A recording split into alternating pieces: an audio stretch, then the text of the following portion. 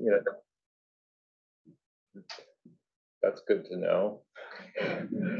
So, so I guess, you know, fundamentally, what we're trying to do is learn about controlling physics of the fault system. That's what we really care about. How does a fault work? And that's what took us down this path. You know, using classical processing approaches, I was getting really frustrated a, dec- a decade ago because I just felt like we were making no progress at all. You know, using precursors to failure and that sort of thing to try to understand and make the, how a fault works, especially near failure, is interesting, but there were just no advances. And that's really what led us down this path. And that's the new data analysis toolbox that we'll be in, in, employing for the, for the rest of this presentation. Wow.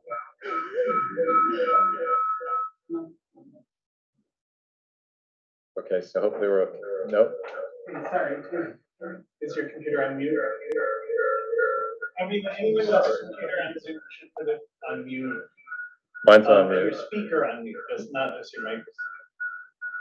Yeah, my speaker's on mute. Okay. Still? I don't hear it anymore. Now we're okay. If I hear it again. I'll- Okay, okay. So apologies to all of you and anybody might be listening online for that painful experience. Um, so. Okay. Okay, so as I mentioned, uh, we'll start with sort of a historical summary of the work and, and what leads us up to today. So we'll start with laboratory and, and eventually simulation of laboratory experiments. And then we'll look at slow slip in, in faults in Cascadia. And we'll come back to current work, uh, including some work we did at Parkfield, and then work we're currently doing elsewhere and back in the laboratory. So. Doesn't want to advance. There we go. So here's the basic question we're asking, okay? Um, and the question is, look, we're all familiar with looking at uh, waveforms, compressional, shear waves, surface waves, and what the vast amount of information we can learn from those waves about the source, about the path, et cetera. But the question we're asking is, is there information contained in the signal preceding the compressional wave and following the surface waves that might that might be telling us about something about the fault system? Is there something being broadcast that we're just simply not seeing? Of course, we know there is to some degree because of low frequency earthquakes, tremor, et cetera. All this information or all these waveforms and this phenom- these phenomena have been discovered over the last two decades or so. So, so surely there's even more. That's that was our thinking to begin with. So that's the point of departure, okay? So we're going to go over this quick summary then, but we'll start with just a bit of background, right? Something that many of you are familiar with, but here's our shear experiment. Uh, so we're going to start with experimental data and move on from there. And this experiment is located at Penn State. Now at Sapienza University as well. Chris Marone's lab. Chris has moved mostly to Sapienza in the last couple of years. But here's the experiment. You have three block system held in place with a horizontal load. You've got two fault zones just because of the symmetry of the experiment. And you've got fault gouge in this case. Often these are just glass beads, but you can use many different materials. You're recording this with acoustic transducers, accelerometer in this case. Originally, we had an accelerometer located here. Now we have them located in the side blocks. To the stick slip behavior, this is either friction or shear stress as a function of experimental runtime. And so you see on the right, you know, sort of the lead-in period, this is time versus friction. The lead-in period where you get to an instability, eventually you start to see the stick slip behavior, and then it gets fairly repetitive. And then you reach some sort of equilibrium out in here, and, and the results start to look more like that. So that's the data set we're dealing with, that acoustic emission, but also think other things are measured like the gouge thickness, the displacement on the fault, the calculated friction because we know the horizontal load and we know the shear stress on the, on the system et cetera. So there are many things measured in the mechanical system that we can use for targets or labels in a supervised learning approach. So here's what the input that, so I'm going to jump right in. I don't want to give too much, I don't want to show you the models we're developing in general. I just want to show you the the, the data and the and, and explain the approaches and the results. Okay. If you're interested in the models that have been developed for these applications, they're in a series of papers that I can point you toward if you like. So the input data in this case, remember I pointed out we were recording either acceleration or velocity, now with many sensors, but originally with a single sensor. So this is dynamic strain amplitude as a function of experimental runtime. And you can see the associated shear stress on the fault here for two and a half stress cycles. So here's a laboratory earthquake. Here's the stress and friction buildup, instability and failure, classical precursors taking place in here. So, so what we're doing then is using this as our input data to some, some machine learning model. And our label or target is the shear stress. And we're asking ourselves, at any given time window or instant, is there information contained in this signal telling us about what's happening with the shear stress or friction on the fault? So that's the first exercise. So that model you build to make that mapping from here to here is your your machine learning model, okay? That's f of x. So at the beginning, we were using simple models, decision tree approaches, if you're familiar at all with machine learning, random forest, XGBoost um, primarily. Stop me if you have any questions, okay? Happy to answer questions along the way. So, so here again is our input data set.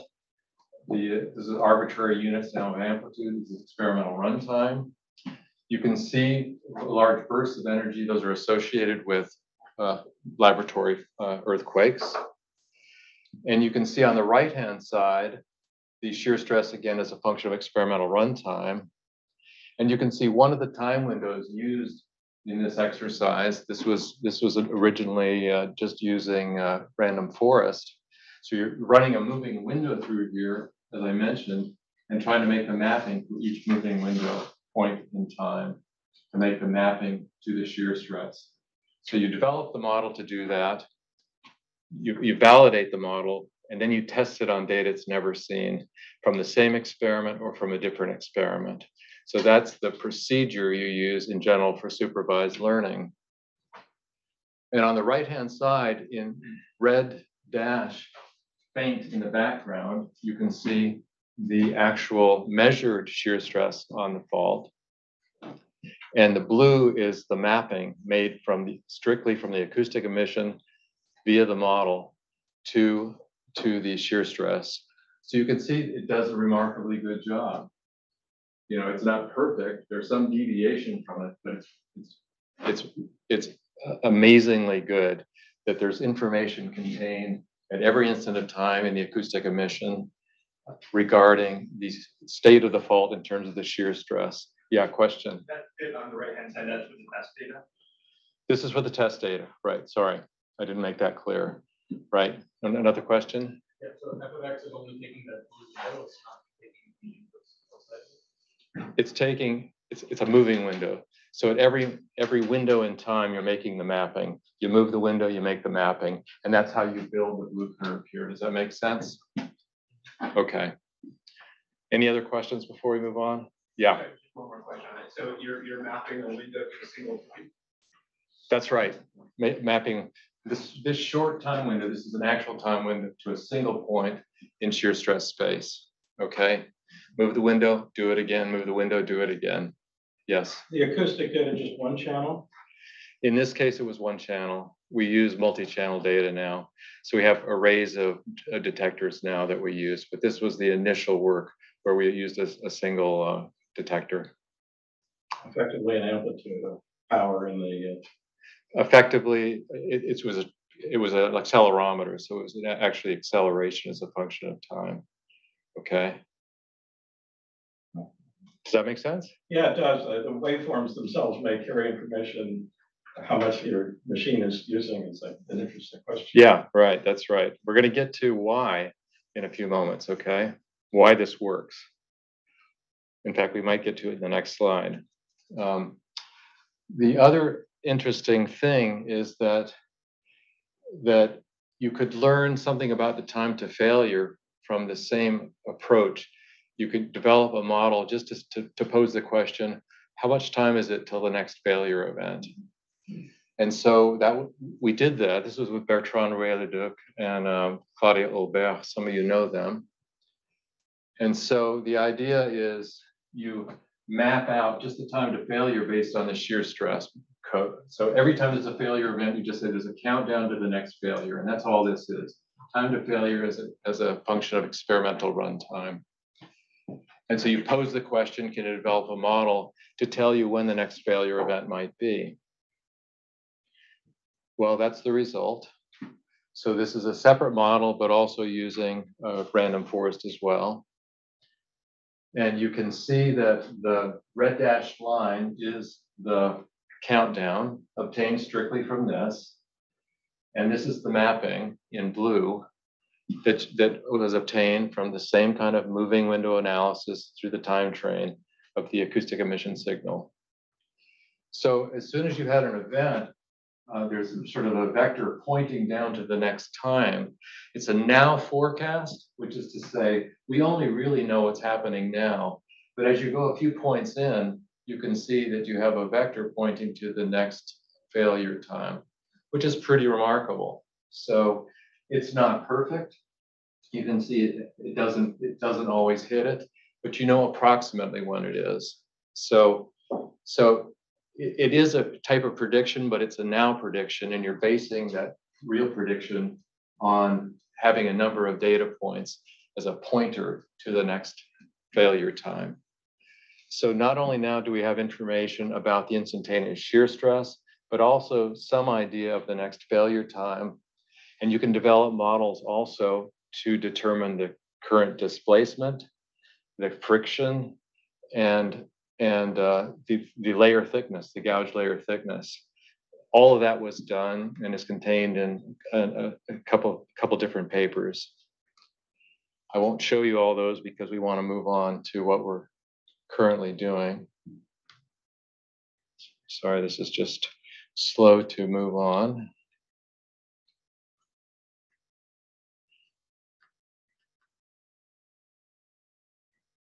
Hello. Okay. All right, so, so why? So what is the model finding that allows it to make this mapping? And so here's the answer to that question. So in the, the beauty of these decision tree approaches is you develop a feature space that is the model actually uses to make this mapping. And so it's it's it's the features of the raw data and the features for, for are the are statistical aspects of the signal. The mean the median the variance the kurtosis. Uh, and there are you can use hundreds of these features and and the model can tell you which ones are important to make the mapping. And generally it's not just one it's a suite of these characteristics of the signal. And that's what i'm showing you here. The most important features for this, this signal to make this mapping for both the time to failure and the shear stress was the variance of this signal, the kurtosis, and just an arbitrary threshold, okay, amplitude threshold. And you can see that there's this increase in the variance, kurtosis, and threshold amplitude as you approach failure. This is a failure event. This is a failure event it drops and it repeats. And if you only used one of those statistical features, the mapping would be much, much less good. But if you're using many simultaneously, you, you get the kind of result I showed you, which is super robust. One of the great beauties of machine learning, because it's using all these features and it's doing it in a, in a fairly complex way that would be very hard to do by hand. And in fact, uh, you may not even have thought to look at these characteristics of the signal, so you didn't know they were there. We didn't know they were there. It was the model that told us they were there. And so, so this was this was a, a period of exploration and discovery that was incredibly exciting. This was taking place in about 2017 when we were first being introduced to these kinds of results and realizing that this signal was just rich with information and contained a fingerprint of the characteristics of the fault at all times. So, okay, that was a very brief introduction to where we got started. And then the question was, all right, what about Earth? In the, in the laboratory, we've got this very simple fault system.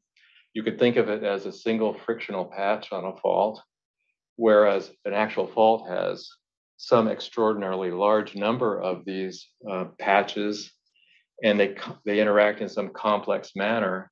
So could you ever hope to succeed in, in, in applying this kind of approach to a real fault? Well, go, you know, ultimately we're interested in all kinds of slip, but we definitely want to learn about stick slip. But of course, the repeat time on most faults is very long. So we don't have training data sets. And we'll come back to that question or that point. But we do have things like slow slip where there are repeat times that are that are reasonable on a human time scale. Okay. Cascadia is a great example because the repeat time for slow slip in Cascadia is about 13 or so months. So we go through a very similar exercise, and I'll show you what, what this looks like in terms of the data. This is Vancouver Island. We're using seismic stations and GPS stations that are almost co-located. And we'll, I'm going to show you results from a single seismic station and a single GPS station. And so the model input is going to be continuous seismic data now instead of acoustic emission and propagated through from the fault through the through the crust, right? So we've got now we've got a long propagation distance in the laboratory. We're very close to the fault itself. So we have the complication of wave propagation paths. Um, the model output is going to now be rather than, than the shear stress or the displacement or the friction, it's going to be the surface displacement from GPS. Okay. So, so you're making the assumption, of course, that the movement on the surface of the earth is reflecting what's happening at depth. Okay. Of course, there's an elastic medium between that. So there's a, a Green's function uh, that you have to account for really. But all we're really doing is saying, okay, this is going to, this is the GPS station is going to reflect the displacement on the fault. And we're going to ask if the seismic signal contains any information about the characteristics of the fault at all times. So it's the same general idea. And we started with um, decision tree approaches, random forest, XGBoost, and, and then eventually we're using deep, deep learning.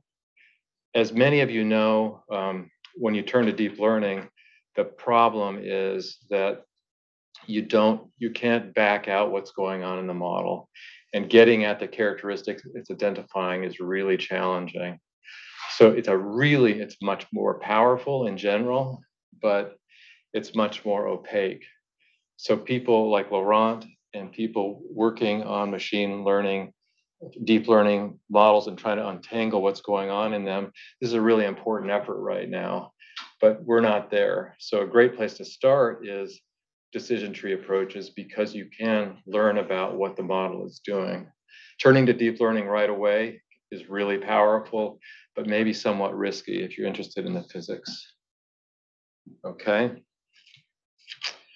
So I'm going straight to the result, all right? So we went through that same exercise, detected a single seismic station, a single GPS station. This is from the GPS station, piece BGC 5. This is displacement rate rather than strictly displacement. This is calendar date 2012 to 2017. Missing data for this period of time. That's why you see nothing there. And the red, again, is the actual measured displacement from the GPS station. And the blue is the mapping the model is making. And you can see that it works, it looks like it's doing remarkably well. It's capturing your average, at least average by eye, of the behavior of the GPS through multiple slip cycles. So each one of these is a, is a slip cycle. Okay? So the upper plate every 13 months is lurching. There's subduction going. This is the North American plate and the Juan de Fuca plate. And every um, every 13 months, the uh, the upper plate, the Juan de Fuca plate, is lurching uh, seaward, and then it's carried back continental direction, and then 13 months later, it it uh, slips backward. So um, okay, so the surprising, really amazing thing to us at the time was this worked in Earth in a really complicated system. So so beyond the laboratory, and with a single seismic station and a single GPS station. So a lot of additional work has gone on to the, in, in, on this problem, especially by Claudia Hulbert and Bertrand Rouet-Leduc. And there are a number of papers out there that describe that work, but I won't go on with this. We're going to continue on stepping towards seismogenic faults. So, you know, as you know, and as I mentioned, the re repeat time, fault friction is a function of time on, on earthquakes is very long on a human time scale, you know, roughly, let's say 30 to even a thousand years. So we don't have any training data sets except for small earthquakes. I'm talking about larger earthquakes here. We have small repeater earthquakes, for example, and we're going to turn to those in a moment. So we have essentially no tra training data for larger events. And what do we do? So what do we do is the remainder of this talk.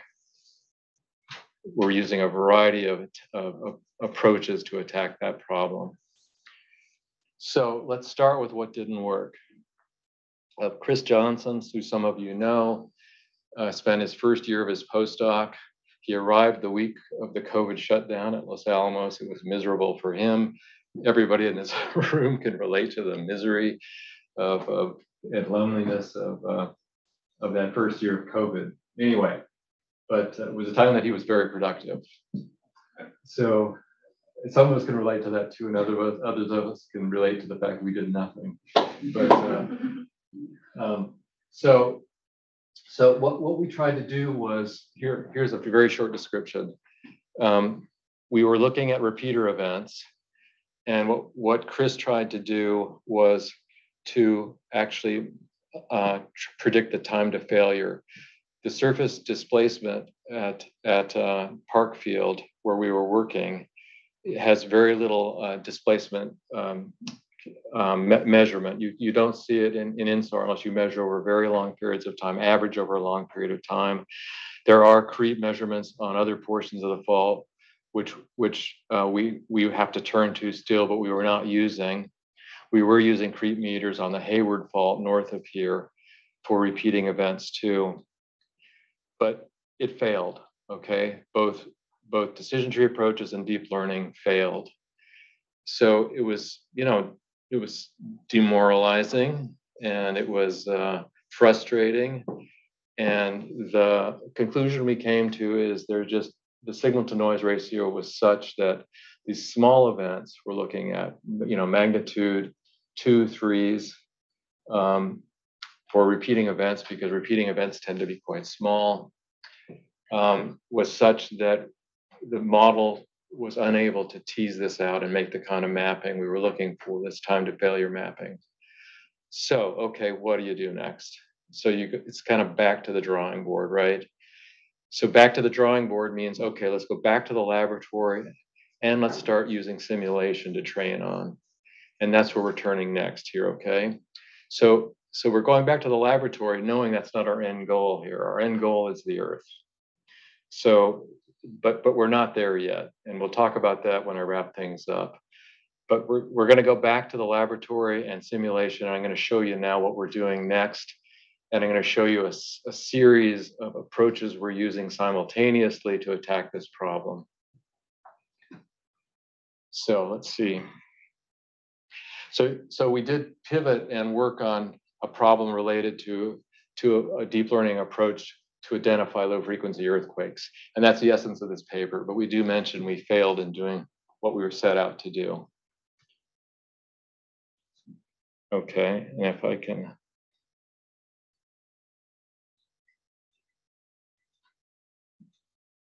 Sorry, I don't know what happens, but anyway, all right, everything I just said is now repeated there, so let's move on.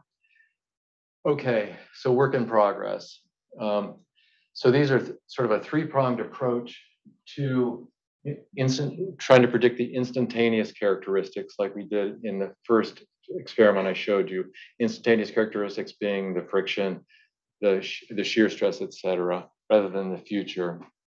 So number one, train on Earth, Earth fault simulations. Well, train on laboratory fault simulations is what I'm going to show you and test on actual faults, test on the laboratory fault. Can we make that work? Can we run simulations, train on that, train a model on that, apply it to a laboratory experiment? Can that work? And if that works, can we scale to Earth? Okay. Approach number one. Approach number two. So cross-train models use simulation and small quantity of laboratory data or Earth data to see if we can capitalize on using some of the data that exists, maybe the only data that exists from a slipping fault. So I'm going to show you that as well. So this is a step toward this. We want to use as much information of the actual system that we can. And so that's the idea behind this portion. Then there's a third approach, really a second approach, because these are these are combined, is using what's known as a PIM or physics of machine, uh, physics of informed machine learning, where you incorporate some physics-based or empirical-based equation or equations to see if that can aid you in not only understanding what that equation might be telling you, but also can that help you with the prediction. So I'm going to show you a bit of that as well. So, so this is, the again, these are now predictions. These are not future predictions because these are, which want to understand the workings of the fault in its current state. So, all right. So let's see, we're going to start with using a deep learning approach. This is a kind of a classical encoder decoder. And we're going to, uh, we're going to tr- train on, is that what I'm showing you? Yes, we're going to train on data using a finite element plus discrete element approach. It was developed by my colleagues at Los Alamos and a postdoc, a postdoc working with us was using this for laboratory simulation. Interestingly, it wasn't the exper- same experiment, the Marone experiment he was simulating was a different experiment we were conducting. So we felt like we had very little chance of making this work. We thought we have these existing simulations, it's stick slip, let's try it. So that's what I'm going to show you. So, so, the, so that's the first thing we did, training on simulations, testing on laboratory data.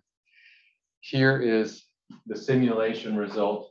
This is the equivalent of an acoustic emission. This is the absolute value of the kinetic energy of the system. Excuse me, it's the kinetic energy of the system as a function of runtime. So that, that's the, the- conceptually the equivalent to acoustic emission. And this is the friction coefficient from the, the simulated system as a function of experimental runtime. And you can see this does not resemble the laboratory experiments, which were really periodic, well-behaved. This is much messier and much messier and probably much more like an actual system in Earth, for example. So this is the training data set where you take the kinetic energy, you try to map that to here. Can you make that work? And then can you take that train model and apply it to the laboratory data? So that's what I'm showing you next. Um, so here's the laboratory data. This is the normalized acoustic emission, right? So all, all we're doing is normalizing the acoustic emission signal. Now I've shown you many times. Here's the friction coefficient in this case. So I've- I'm, I'm, I'm intermixing shear stress and friction. Uh, so please be aware of that because we, we, we use both uh, variables to uh, map to. So what, what we're trying to do then is we built, develop the model and then we want to, we want to make this mapping. Okay, that's what I'm going to show you. So here is the, the, uh, So the, here is a model trained and tested only on lab data. So it's exactly what I've shown you before.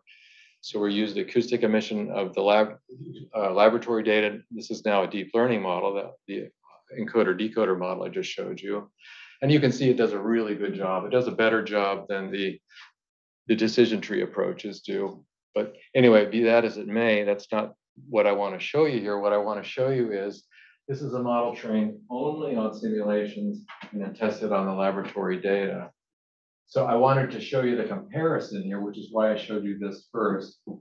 Again, I, I, I forgot to say the black is the measured friction on the experiment and the red is the mapping. Excuse me for, for not mentioning that here and here. So you can see that, you know, it's not very good, but it does capture the slip events. It doesn't capture the full magnitude. Um, and it seems to capture some of the sort of curving characteristics, the evolution of the shear stress as a function of time. But nobody would call that good. But nonetheless, it was surprising because the data were so different. And it was surprising because why would it make any mapping at all? Um, but but hang on. So now you cross-train that model. So you take the model you trained here and you retrain the latent space, the heart of the model, with a portion of the laboratory data. Okay, in this case, six cycles for those of you who care. And then you apply it again. And so you can see it does a much, much better job. Still not as good as training and testing on the laboratory data. Yeah, Florent. The lab data being labeled here. Yeah, yeah. So, so let me just repeat that again. So you've taken this model that you trained on simulation only, and you and you tested on laboratory data. Excuse me, you test it on simulation data. You retrain that with a little bit of the laboratory data with an eye on Earth.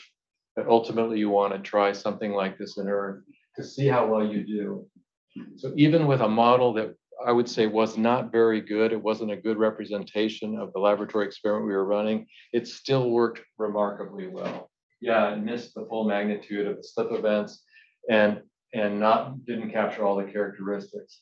But nonetheless, it works surprisingly well. So it gives you hope that this kind of general approach could work in Earth. Yeah, question. So this last step where you uh, retrain the model on, um, on the lab data, um, are these latent weights, can they be used now to predict the simulated? You mean the same weights? Yeah, or, or is it like you always have to change them based on the shapes?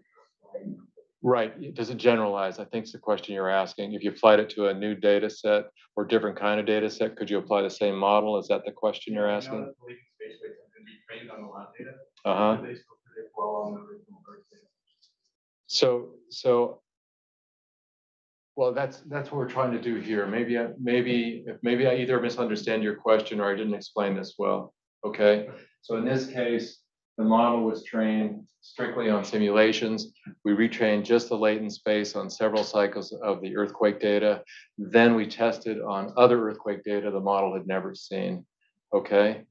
So I don't know if that helped or not. Did I answer your question or no? I think that- Okay, okay. Other question?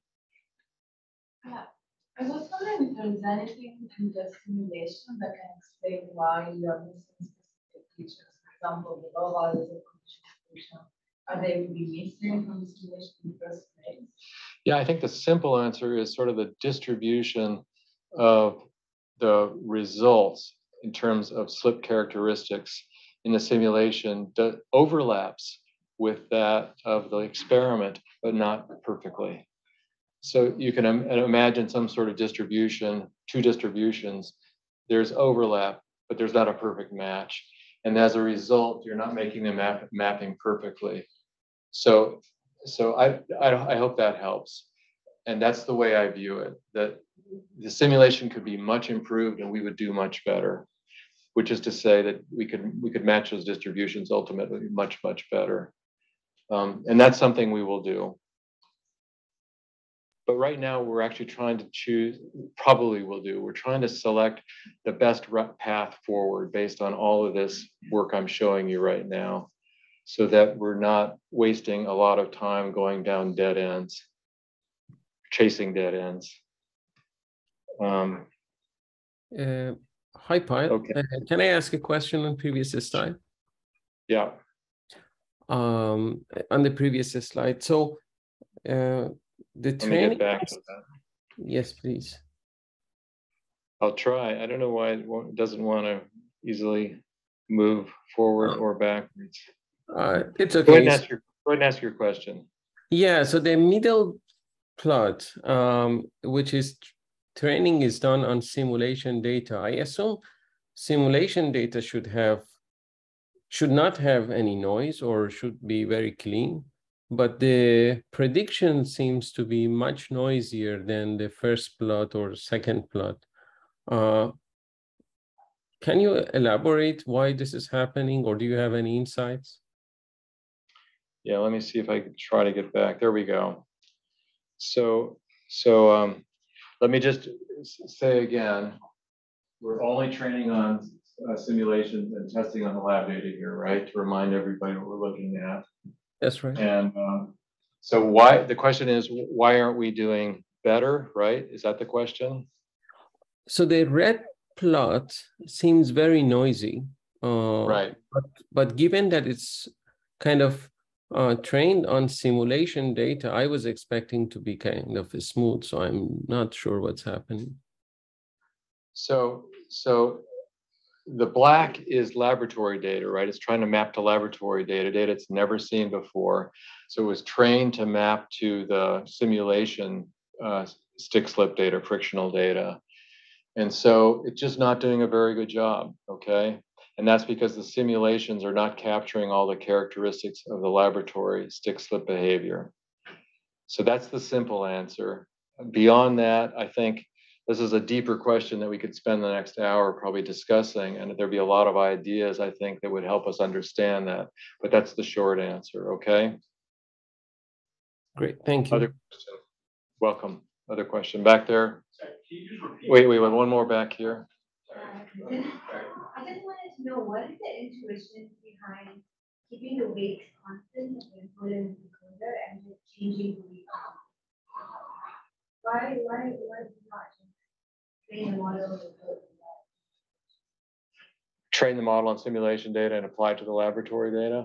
Yeah, what, what was the intuition behind changing?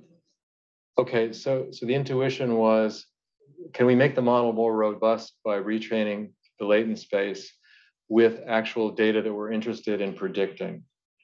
Which is to say laboratory data or earth data. So let's take advantage of the data we actually have to see if it can help us get to our goal, which is to predict the instantaneous behavior of an actual fault in earth. Does that answer your question? So I guess you want to make it more sensitive. We, we, we want to, we want to make it, the model a more powerful predictor of the current behavior of the fault. That's what we want to do. And it turns out we can do, we can, we can use the information from the actual system we're interested in predicting in the model, in the latent space of the model to help us get there. Okay. And one other question? Yeah, can you, sorry, can you just repeat what the model inputs are here? The- the Kinetic energy. Yeah, so, so, so for this, um, for, for the center one, the model was trained on kinetic energy from the simulation and, and you're predicting the friction that the simulation has predicted as well, has given you, okay? And then for the, uh, and then you take that and you apply it to that model that you train, you apply it to um, the laboratory data, and this is what you get. Did I answer your question? Yeah, yeah, and what are the actual measurements they take in the laboratory experiment? Again, it's the acoustic emission and the measurement of the friction. Okay, Yeah. And conditions of the experiments, it's room temperature, of heating all of this. yeah, so these are uncontrolled, temperatures uncontrolled, humidity is uncontrolled, and all, everything I'm showing you today. You can do that, but we weren't doing that. And it turns out we didn't need to, um, because, well, you can see the results speak for themselves. especially when you're training and testing just on the laboratory data. But anyway, it's un- uncontrolled conditions. And the material is Uh, steel blocks are used for the, uh, for the fault blocks. And in this case, glass beads are the fault gouge. Again, you can use other materials. We have used other materials, granite blocks, um, um, ground up quartz, uh, uh, um, clays, et cetera, for fault gouge, many other things. But what I'm showing you are, are those materials, okay? Anything else before we move on? Yeah, because I have a follow-up question about the intention of training the latent space. Um, I mean, there are- could be other ways of playing with the data, for example, mixing the simulation data and the uh, lab data and trying together or using some Mhm. ensemble models. To try mhm. that. No, no, no, no, you're right. There are many other things you could do. And I think our, our, um, our philosophy right now is let's test some fundamental ideas that we think have promise. And then let's pursue the one or ones that ha- hold the most promise. So yes, uh, you could do exactly what you're saying and spend, spend a lot of effort and maybe make really good progress doing something like that or, or, or a group of things like that, but we haven't done it. Okay? That may come depending on the outcome of everything I'm showing you today. Okay? So let, let me move ahead and, and for the moment, save some of your questions because we're getting to the end of the presentation time and I'm going to run out of time. I'll get as far as I can though. And sorry, again, for some reason, this does not want to advance. There we go. So just to say, uh, with an eye on Earth, what we did next was to train the latent space again, not on multiple cycles of the laboratory data. So this is the train model from simulation. But we just trained it on a portion of a slip cycle. So this is a long slip cycle, and you can see there's a large precursor in here and several others. But we just trained on this portion of the laboratory cycle, thinking, okay, maybe that's a 30-year period of, a- of an existing fault of data that we might actually have access to that we could tr- retrain the latent space with. So using, rather than multiple cycles, just one, because that's all we would have in Earth, what happens? And here's what happens. So, so let's focus on this post failure, this one. You can see that when you train with less data from in the the, retrain the latent space with less data, you don't do as well as you did previously when you used multiple cycles. But nonetheless, it's showing some promise. So that tells us that, okay, we can, there are many things we could do, including and primarily improving the simulations going to Earth. um, but that we can also use Earth data, portions, of realistic portions of Earth data to retrain the latent space.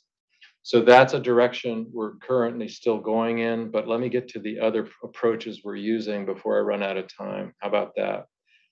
And uh, let's do, if you would please withhold your questions till the end so we can get through it all. So let's talk about, I mentioned uh, using actual physics in the uh, deep learning model. Um, this is often called physics informed machine learning. I mentioned it a little while ago. And I'll simply say that we're using a deep learning model. We're, we're incorporating in something many of you are familiar with, rate state friction, which is the go-to frictional model for faulting, whether you like it or not. And you may not like it. I don't really care for it because it's an empirical, it's, it's a curve fitting law that tells you about the activity on a fault. It's very powerful, but there's no physics in it. Okay, nonetheless, I digress and I give you my own opinion. You may disagree. But so, so the model predicts the friction on the fault. It has two branches, but it simultaneously predicts the rate state characteristics, the, the, uh, the A, the B, the D sub C characteristics that many or many of you are familiar with in, in, in the rate state model. And then it predicts independently the friction on the fault. So you have two predictions.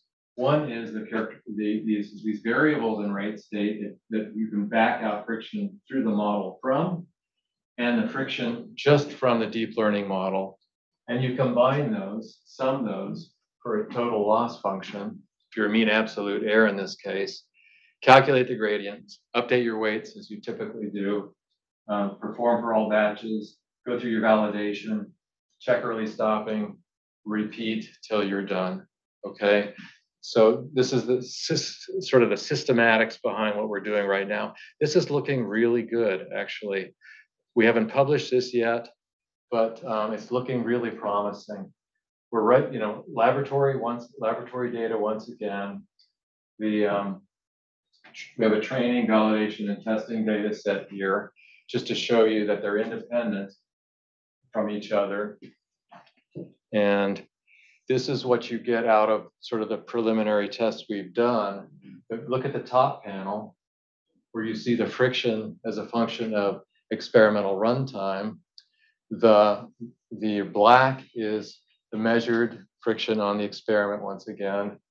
And the, um, the red is the rate state friction at one branch of the model. The blue is the neural network uh, out uh, friction from the model. So, so they're both doing pretty well, and when they're combined, they do remarkably well. So, so that's another general approach that we're exploring in terms of bringing in the physics or in, in, let's let's say the the empirical based law to see if it can help us improve the model to ultimately apply in Earth. So that's why we're doing it, and that's the direction we're going. Stay tuned for this because this is work in progress, and we don't know yet where it's going to lead. But this is sort of this is one of the states of the art in machine learning. You know, so so many people are, are applying this general approach to, in hopes of teasing out physics or including physics to help solve their problem. Ultimately, we'd like to develop our own frictional model using this kind of approach, but that's a tangent. Um, these are some of the rate state characteristics. For example, that's D sub C. So you're actually predicting D sub C and these other characteristics, things you've never even, you never even knew about throughout the stress cycle. That's, that's quite interesting in itself, but that's also a, that's a talk in itself. So let's move on. So, okay. Right, prediction is based on timing, magnitude, and location, right? And, and as I think everybody in this room knows, there's never existed a reliable approach to prediction. And let's look at Benno Gutenberg, who was at Caltech, one of the great names in, in geophysics in the last century. This is in response to Mr. Herman Saylor, who apparently was asking him about earthquake prediction in 1947. This laboratory does not predict earthquakes. Specific predictions giving time and place come from amateurs, publicity seekers, believers in the occult, or just plain fools. Okay, Los Angeles remains exposed to the risk of a great earthquake, which may take place at any time. Yours truly, Benno Gutenberg. This is such a beautiful letter. And so I want, I want to make it really clear, we're not out to predict earthquakes. And we're out to predict the instantaneous characteristics of a slipping fault. We think we can make progress on predicting the timing of an earthquake, and I've, I've shown you hints of that in, in some of the work we've done. And there may be time to show you one more piece of that. But getting the magnitude and the location, wow, this is a huge challenge, period. So, so just to make it really clear, because we've been ac accused of thinking we can predict earthquakes by well-known people and it hurts it kind of stings and maybe it's our own fault or my fault because maybe i was misrepresenting in it in, in, unintentionally about what we were trying to do. So i don't make that clear to you. We're not predicting earthquakes. Okay. So so other things we're, we're doing how much time do i have if any? Yeah, time. okay okay. So I'm, I'm really almost done but I want to show you uh, one or two other things we're working on as well to give you a flavor of sort of the spectrum of work the group, group is conducting. So, so we also we're also working on near future prediction. specifically of friction. Wouldn't have to be friction. And this is laboratory experiments again. It could be just fault displacement or some other characteristic, but that's what I'm going to show you today. We're using natural language processing, which is also quite current for, uh, you know, was developed for, for natural languages. You know, your iPhone, for example, filling in annoying text in the future when you're trying to type a message to somebody. It's that kind of thinking, right? A model that does that, that can fill in the future behavior of the fault. And so conceptually, that's what we're trying to do with the natural language processing. So I'm going to show you one slide of that, and then I want to show you actual work we're doing with seismic data in Earth. So I'm just showing that because I haven't shown you any models uh, ex except actually the, the informed machine learning, which was a cartoon model. This is just a cartoon of the approach we're using to predict using natural language processing in the near future.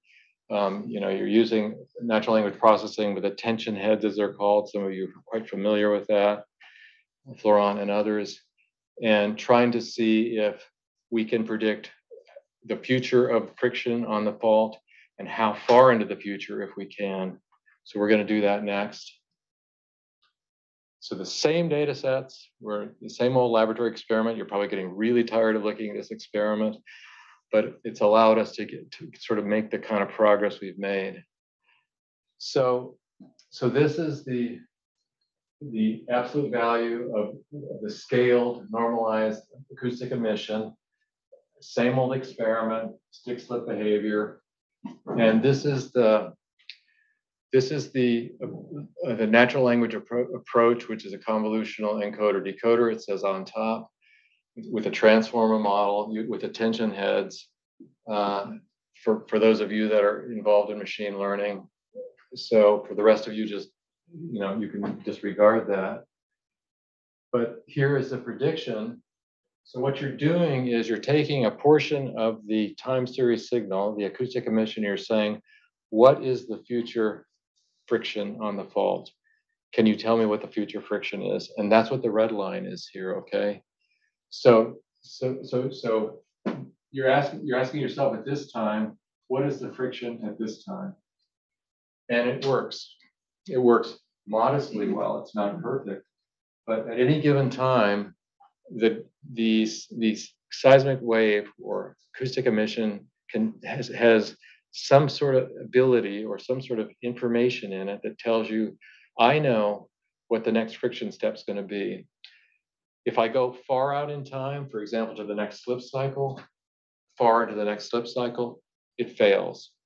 So the closer you are in time, the better it does in general, kind of what you'd expect if it would work at all.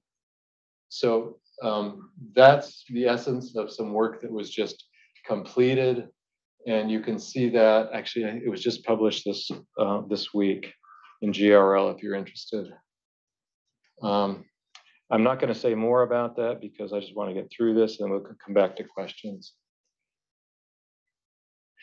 So this is work with uh, Stefan Nielsen's group. Some of you might know Stefan at Durham University in UK. And a student of his, Veda Ong, a master student, uh, worked on this problem of trying to predict failure time on actual faults using seismic data from oh. Japan. So using a single station, multiple events all over magnitude six, something like 30 events to train on. And you're using a classification procedure and you're doing something very arbitrary. You're saying that, okay, at a certain amount of time before an earthquake takes place, past earthquakes, or your training data set. I'm going to call everything preceding that noise. Everything following that, I'm going to call a precursor. Okay. I mean, we know there are these classical precursors uh, preceding failure in general. So, so it's logical, but the fact that you're just doing this arbitrarily is is maybe uh, a little bit distasteful. But let's try it anyway. That's the idea, okay? Because the closer you are to the rupture time, the larger the amplitude and the more intense these precursors become. So there is some logic to it. So I'm just showing you preliminary results. This is time prior to the start of an earthquake. This is what the classification model that was developed, it's a deep learning model. I'm not gonna talk about the characteristics. So this is the fraction of precursors, and you can see that, that, you know, at ten hours, up to three and a half hours before this sequence of earth- earthquakes that were tested on, uh, the model's classifying it as noise, but then begins to classify the signal as precursor, and that increases in intensity as, you- as you move to failure, which is completely logical. So actually, I think this is a very hopeful direction to go, and we are going in this direction to do a much larger study, both in various regions, Japan, where you have the best data in the world, but also in Alaska, uh, potentially Chile, New Zealand, et cetera, and eventually do a global study. So that's where this work is going. So I, I, I'm, I'm, I'm sure at this point, you're, you're probably a little bit um, overwhelmed, most of you, and I apologize for that. But I think what I wanted to show you is these many directions that our group is going into, are, that we're going, and to encourage you, any of you that are interested in this area, to, to take the lead and do something similar or go in a new direction, or to apply this, this group of tools to whatever you're doing, as I said at the beginning. And it's up to you young people to really d- drive this because guys my age uh, and people actually that are you know 40 and older, they're not going to do that. They're too busy. They're, they're we're set in our ways, and um, it, it's really up to mostly the young people to learn this stuff at a young age and then just incorporate it into your daily work. You know, you don't do machine learning to do machine learning. You do machine learning to help you solve problems. Okay. So anyway, so the noise is the signal. This is what we've discovered. What we thought was noise pre- pre- previous to all this work turns out to be a very rich signal coming out of this fault system that's telling us about the behavior at all times. And we believe that's also t- uh, taking place in Earth based on the work that we, we had done with slow slip. But also we believe that seismogenic faults, sticks that stick slip, are doing the same thing. And the question is, can we prove that or disprove that? Thanks so much for your attention.